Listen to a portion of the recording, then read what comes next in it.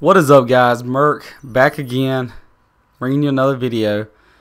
This is uh, one of the more disappointing videos. As you see I'm in a custom games on Black Ops 3 and what's wrong with Nuketown in this game is, I'm going to show it to you. If you haven't played this already, right here.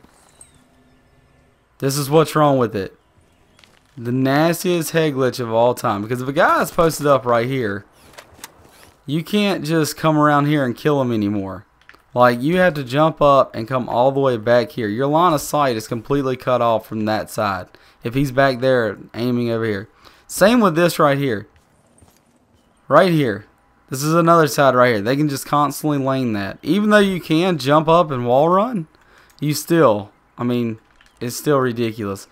This, if you're not the first one to these head glitches in a Nuketown game, you lost the game. Because right here, this is just it. This and over there is just, it's ridiculous. Another thing is, there's no straight lines of sight anymore.